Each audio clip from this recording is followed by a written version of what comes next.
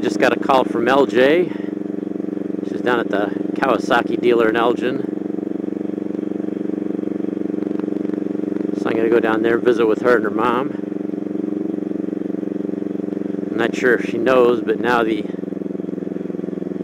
original Kawasaki dealer is now a Honda dealer. And the Kawasaki dealer moved a few blocks away over on DuPage Street, so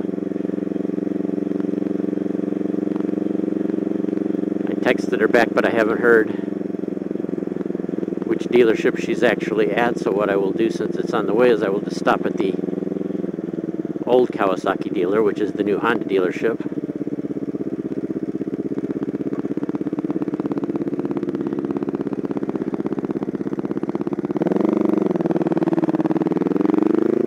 And I also need to turn my idle down a little bit. I rebuilt the carburetors. Well, didn't rebuild them so much. I just kind of took them apart, cleaned them out. I've been dreading doing this, and the last few times I rode this bike, I could pretty much tell that the carburetors needed cleaning. And I decided, well, I didn't really feel like it so much yesterday, so I went out in the morning and I just figured, well, I'll just get the bike prepared. I'll drain the gas tank, take the seat and the gas tank off, and then that way I'll have it ready for the next day, which would be today. And uh, after I did that, I'm like, well, that went pretty fast, so I'll just pull the two carburetors off and then just let them set and I'll work on them the next day, which is today. And they went off, they got off I pulled them off pretty fast. So, well, as long as it's going so smooth, might as well start taking them apart. So, long story short, I just kept doing one more thing and one more thing, and I figured, well, before you knew it, I had to had them tore apart, cleaned, back together on the bike.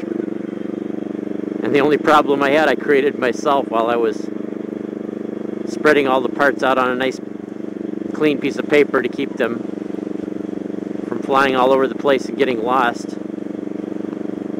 I uh, put my hand down on the paper and I don't know if any of you guys know but the if you worked on carburetors you know the idle adjustment needles are very very um, soft made out of brass and what I did was I with my palm of my hand, I leaned against one of them and bent the tip of it. So I was kind of sweating bullets while I was carefully rebending back the tip because it's made out of brass and it can snap and break real easily. And slowly but surely, being very careful, I bent it back straight so I didn't end up disabling the bike and having to go back to the dealer to get a carburetor part.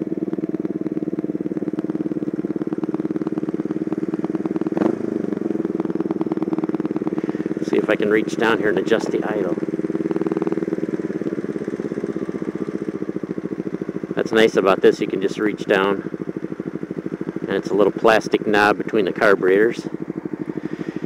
So you can even, if you have a little bit of time in an intersection, you can even adjust the idle. But for the most part, if you're not really fond of working on carburetors, dual carburetor bikes aren't always the most fun to work on because there's no real easy way. You can't like move everything out of the way and just take them off easily. You basically have to push, pull, shove, bend, and uh, hopefully not damage the intake and the out gaskets, rubber gaskets as you're doing it. So you've got to be kind of very careful and just kind of shove, wiggle, and jiggle and then putting them back, it's all the opposite where you're trying to push them back into place. And then you spend the time checking and making sure the rubber pieces seal all the way around on the intake and the out.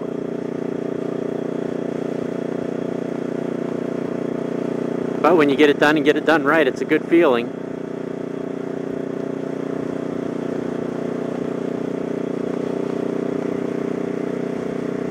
Matter of fact, when I got done doing that, I was so ambitious because it went so fast, there was a one of those small three-speed fans for in the house blowing air around, and my wife brought it out to the garage.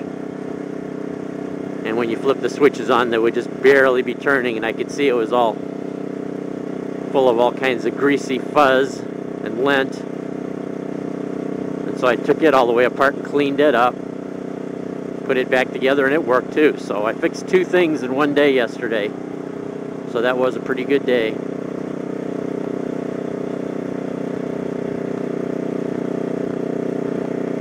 So anyway, let me know if you had one of those days too to where you just didn't feel like doing something and it just kind of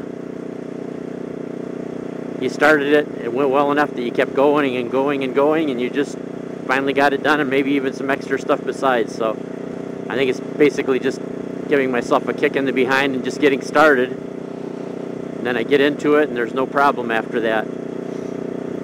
I suppose if I'd had a really, really big pain in the butt problem in the middle, I would have been kind of disgusted, but it's not like with carburetors on this bike, like I haven't done them many, many times before. It's better now since the Polar Bear Challenge where I use this bike in the wintertime. That way it doesn't just sit and not get used, and then the carburetors do tend to get all junked up. Yeah. Oh. So this is her neon green helmet, a youth small. Good thing you got your sunglasses on. Yeah. And this is the new ER6, the resurrected ER6. Jesus. Jesus.